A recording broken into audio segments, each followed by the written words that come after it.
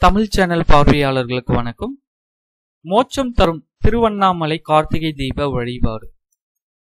கார்த்திகை மாதம் கிருத்திகை நாளில் மலையின் மீது ஏற்றப்படும் தீப வடிவில் காட்சி தருவேன் என்றார் சிவபெருமான்.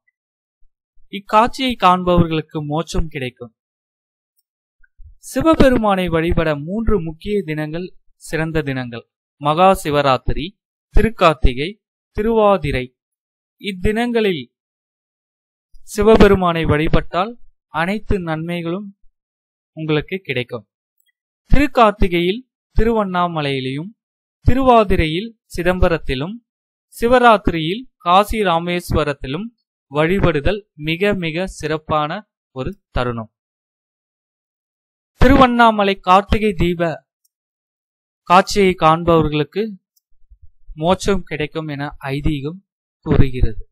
இதன் காரணம் கொண்டே பல பக்தர்கள் திருவண்ணாமலை தீப வழிபாட்டை காண லட்சக்கணக்கில் திருவண்ணாமலையை நோக்கி படையெடுக்கிறாங்க.